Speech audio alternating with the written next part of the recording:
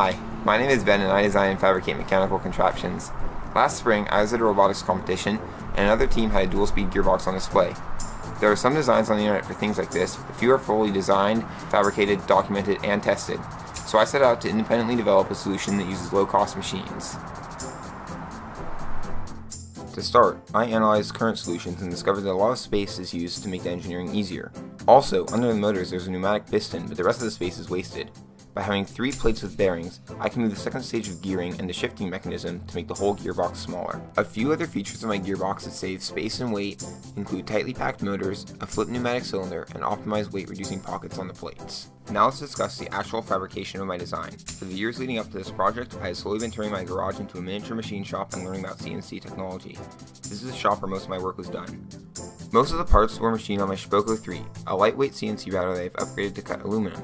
The CAM package that I use is HSMXpress and I use 2 and 3D toolpaths.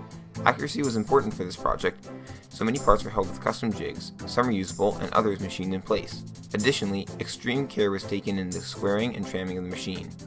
This is a full assembly of my gearbox. As with many good designs, the assembly tools that are used are quite basic, just some wrenches, screwdrivers, and a torque wrench.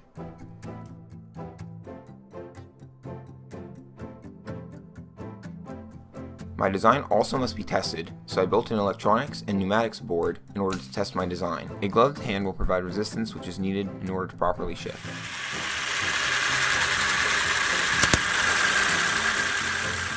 This is another view of the shifting action in slow motion. This project has taken my design and fabrication skills to a new level. Thanks for watching!